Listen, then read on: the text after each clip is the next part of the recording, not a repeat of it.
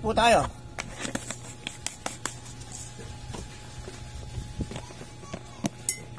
Chillax time. Two and a half. Hot water.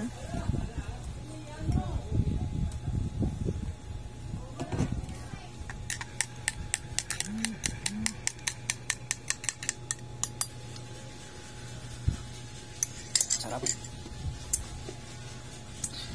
Come Holy Spirit, come Holy Spirit.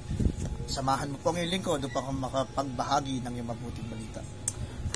Napakaganda po ng gospel sa araw na ito, ngayong araw ng Martes at ito po ay hinango natin kay San Juan, Kabanata 14, talata 27 hanggang 31. Napaka-iksi pero makapangyarihan po ang gospel ngayon.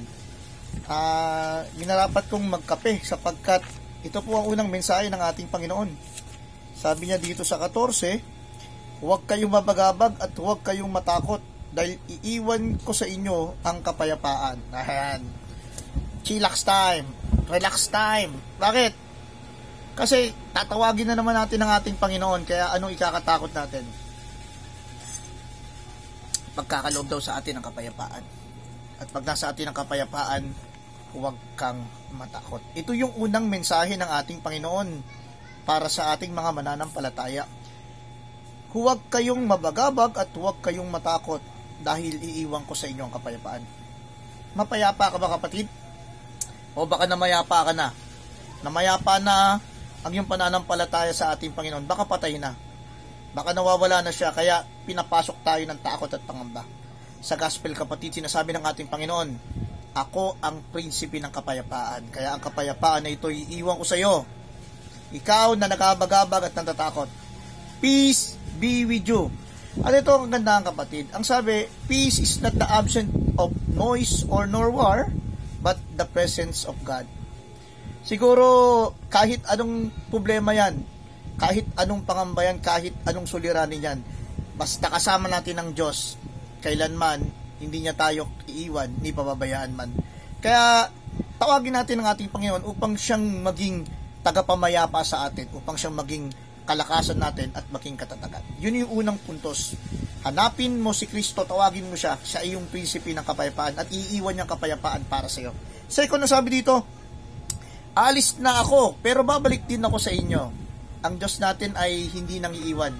Hindi tulad ng iba dyan. Matapos kang pangakuan, agad kang iiwan. Ay, ang Diyos ay tapat sa pangapangako. Para siyang tanghali na laging tapat, di ba? Kung iniwan ka ng girlfriend mo, ng boyfriend mo at sumama sa iba na matapos mong bilihan ng sapatos at nasuot na, sasama naman sa iba. Pero ang Diyos natin, aalis sa sandali, pero babalik siya. Bakit? Kasi inihahanda niya lamang tayo. At ang pangako ng ating Panginoon ay tapat. Pag sinabi niyang babalik siya, babalik siya. At sa kanyang pagbalik, kapatid, mas matinding kapangyarihan ang ipagkakaloob niya dahil daladala niya na ang banal na espiritu. At yun ngayon ang magandang uh, tanggapin natin. Come Holy Spirit, we need you right now. Kaming kami ngayon na nababagabag, kami ngayon natatakot. Kailangan ka namin Holy Spirit. Come Holy Spirit through Jesus Christ upang nang sa ganon, patuloy kaming lumakas at patuloy kaming tumatag. Ano yung pangatlong message ng ating Panginoon? Sabi dito, dumating si Sat na si Satanas na siyang nagahari sa mga taong makamundo. Wala siyang kapangyarihan sa akin. Katotohanan po talaga at tanggapin natin, naririyan lamang po si Satanas. At si Satanas ay gumagawa ng takot, gumagawa ng pangamba, gumagawa ng kaguluhan. Para ano, para linangin ng tao na na siya ang makapangyarihan. Pero anong pangako ng Diyos na naman sa kanyang salita? Ang sabi niya, wala siyang kapangyarihan sa akin. Oo, Satanas may kapangyarihan sa katawan natin. Pero tanda mo, pag si Kristo na naghari sa buhay mo, kung sinabi ni Jesus na walang kapangyarihan si Satanas kay Jesus, ganun din sa kanyang mga alagad. Kaya anumang bumabagabag na kapangyarihan ni Satanas sa pagkatao mo, sa pagkatao ko, sa pamilya mo, sa pamilya ko, ito'y ating wawaksihin sa pangalan ni Jesus, ang makapangyarihang pangalan ni Yeso Kristo. Three things kapatid, peace be with you, alisin ang takot, pangamba. Second, umalis lang pansamantala ang Diyos. Temporary lang para ipakita sa iyo na may mundo talagang nakikipag-battle. Pero tanda mo, ang pangako niya, babalik siya kaagad. At tanda mo, pagbalik niya, hindi ka naman niya talaga iniwan. Pinaramdam niya lang na, ano lang ba yung mararamdaman mo pag wala siya. And then what's the third? Walang kapangyarihan sa satanas sa pangalan ni Jesus. Let us pray. The name Father, Son, of the Holy Spirit. Amen. Makapangyarihang pangalan ni Jesus, Diyos na buhay, ang Diyos noon, ngayon, magpakailanman. Ang Diyos na nagpapagaling, ang Diyos na nasa langit, nasa lupa at maski nasa ilalim ng lupa. Panginoon, sa oras po na ito kami natatakot, kami nababagabag, kami nababalisa, kami nangangamba.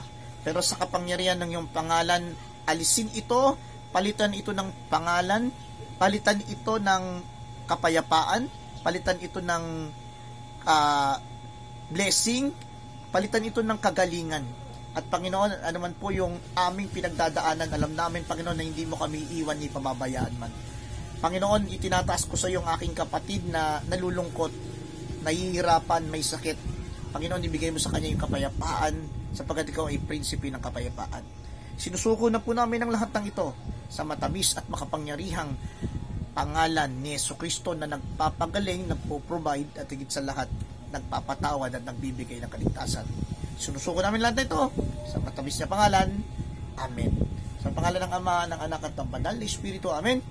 Uh, mula po sa Makati City Police Station, patuloy na bumabati at nagsabi, just hold the line. Hawakan po natin lagi ang salita ng Diyos. God bless!